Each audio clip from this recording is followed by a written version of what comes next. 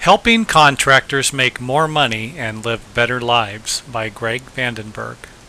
Sometimes you bid a project and you miss something simply because it's not on the plans. You've looked at the plans, you've figured the job, you bid it, but the city, building department, planning department, the people you're working for, the project manager, whoever, wants you to do something and doesn't want to pay you for it. Um, don't do it do not go down this path. You've signed a contract for this.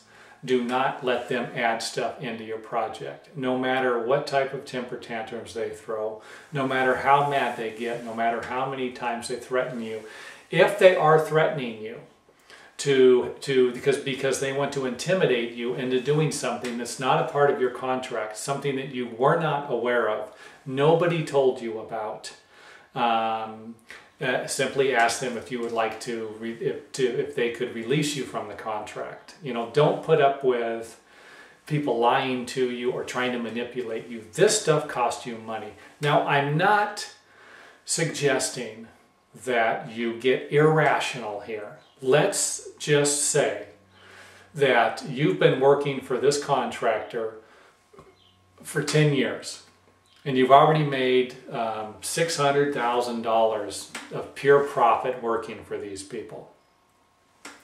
Don't bite the hand that feeds you. Try to work something out with them that'll benefit both of you. If you're in a position to where you've made a lot of money and they're asking for something that's only going to cost you $100, you're going to need to use a little common sense here. Put, go ahead and do this for them for, for free. This isn't rocket science. If you're working for someone new, this could lead to other problems. This is just the start of this. This isn't what you want to uh, end up doing. You can always do the thing that's going to cost $100 and tell them that the next time you do anything, you're going to need to be paid for it. This wasn't part of your contract and you're not interested in doing favors because you're in the business to make money. And do not forget that part of my book, 501 Contractor Tips, is to um, get contractors thinking about ways to make money. How can you make money, improve your business, and improve your life as a contractor? That's what this book's all about. Has a lot of tips in there for everyone. This tip that I'm telling you right now isn't in there. It's in might be disguised as something else actually I could tell you what it is, is they got me on this, is um, sometimes when you're building a house today, the building department might have you put up a snow fence, which is an orange net, a plastic orange netting that's about three foot tall, and they want you to put it up around the property. Well, if you had a big enough property, this could cost you a small fortune. So again, these are things you can't do. If it's $100, $200, you know, depending on what you feel you can and can't do within reason, do it if you um, think it's going to be beneficial to you.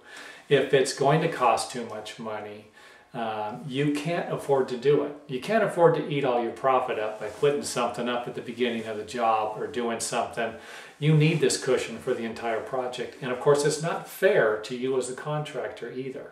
So don't get caught up in someone else's problems. And this is a good example of someone else's problems. Visit some of our other websites today if you're interested in finding more helpful information on construction.